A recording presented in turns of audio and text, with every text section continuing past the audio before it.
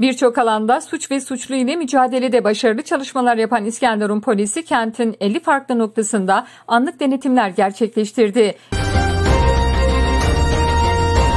Emniyet Müdürü Nevzat Güneş'in yerinde denetim ve koordine ettiği uygulamalara polis dronu havadan eşlik etti.